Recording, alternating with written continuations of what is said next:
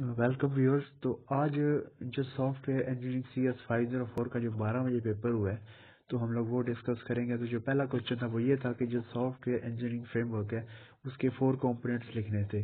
دوسرا جو کوشچن تھا وہ ایک سنیریو تھا یعنی ایک کمپنی ہے جو کہ فینس اسمبل کرتی ہے اور وہ کچھ را مٹیریل جو ہے وہ پرچیز کرتی ہے، اس میں وائرز آ جاتی ہیں موٹرز ہیں وگز ہیں اور میگنیٹس ہیں۔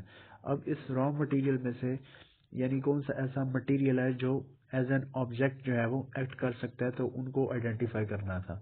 ٹھیک ہے، جو تھرڈ کوشچن ہے، وہ جو کامن مسٹیکس ہوتی ہیں ڈی ایف ڈی کے اندر، وہ بتانی تھی۔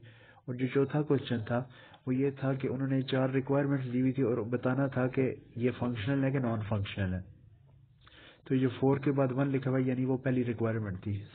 System able to grade up completion of exams یعنی ایک اسٹوڈنٹ جب ایگزام دے لیتا ہے تو سسٹم کیا کرے، اس کا جو ریزلٹ ہے وہ کیلکولیٹ کرے۔ پہلی ریکوائرمنٹ یہ تھی۔ دوسری یہ تھی کہ سسٹم کی جتنی بھی ایکسٹرنل ورلڈ کے ساتھ کمیونیکیشن ہوتی ہے، اس کو وہ انکرپٹ کرے۔ اس کے علاوہ جو تھرڈ ریکوائرمنٹ تھی وہ یہ تھی کہ اسٹوڈنٹ کا جو رول نمبر ہے اور نیم اس کے علاوہ جتنی انفارمیشن ہے، اس کو کانفیڈینشیل رکھا جائے۔ ٹھیک ہے، اور جو چوتھی ریکوائرمنٹ تھی کہ اسٹوڈنٹ کے پاس آپشن ہو آن لائن ایگزام کا۔ تو ساری یہ فنکشنل ریکوائرمنٹ تھیں۔ اور پانچواں کوشچن یہ تھا کہ سیکوینس ڈائگرام اور جو کولیبوریشن ڈائگرام ہے یعنی ان میں سے جو کولیبوریشن ڈائگرام ہے، وہ کس کانٹیکس میں سیکوینس سے بیٹر ہے، تو اس کی فیور میں جو ہے وہ ٹو پوائنٹس لکھنے تھے۔